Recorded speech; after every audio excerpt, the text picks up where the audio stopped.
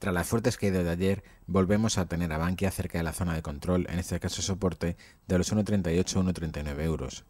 De hecho, este nivel actuó como resistencia durante el mes de enero y como soporte durante el pasado mes de mayo.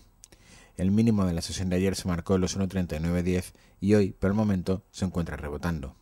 Resumiendo, el aspecto técnico del título no es malo, en absoluto, simplemente le tenemos consumiendo tiempo, es decir, desplegando un amplio movimiento lateral. Ahora bien, la pérdida del soporte al que antes hemos hecho referencia podría llevarle a buscar niveles de precio cercanos a los 1,32 1,33 euros.